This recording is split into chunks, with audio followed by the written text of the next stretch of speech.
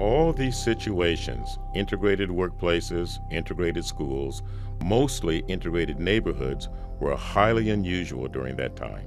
Keep in mind that in 1896, a few years before Buxton sprang to life, in a now infamous ruling known as Plessy versus Ferguson, the United States Supreme Court overwhelmingly rejected efforts to integrate railroad cars.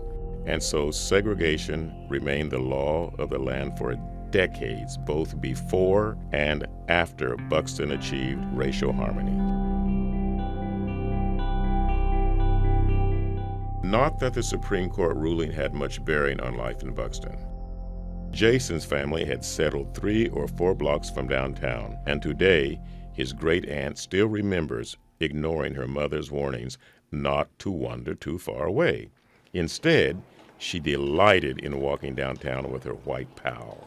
Well, I would love to go to town and sightsee. And the next door neighbor's little girl and I, we used to sneak off and, and go to town. What would you go down there and uh, Just sightsee? look, just just looking in the windows, buying us some candy, a popsicle or something, and, and walking down the street and looking uh, looking in the windows. Now, were these just like the windows of the the company store, or were there Com- clothing stores yeah, down there too? Company store, clothing store, barber shop, yeah.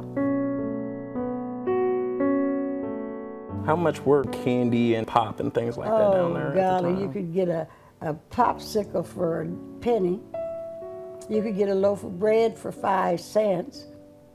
Everything was much cheaper then than it is now. Would you say African Americans were well paid? I don't remember ever wanting something and didn't get it.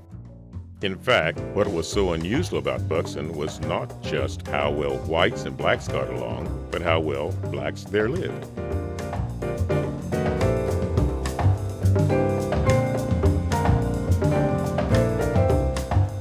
This light-hearted photograph from the early 20th century pretty much says it all about how black people fared in Buxton. At the time, relatively few women worked outside the home, but the 1905 Monroe County Census shows that seven of the town's 19 teachers were black women. So were two of the three music teachers and also one of Buxton's two stenographers. The town's only postmaster was a black woman. So was the only midwife. She delivered both black and white babies.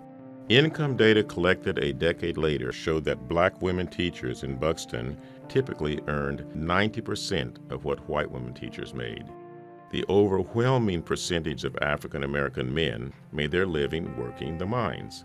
According to official census data, as far back as 1905, there were a number of black professionals and business owners in town as well. This is an undated photo of Buxton resident George Neal sitting in the tailor shop he owned. And this is George Neal with his family.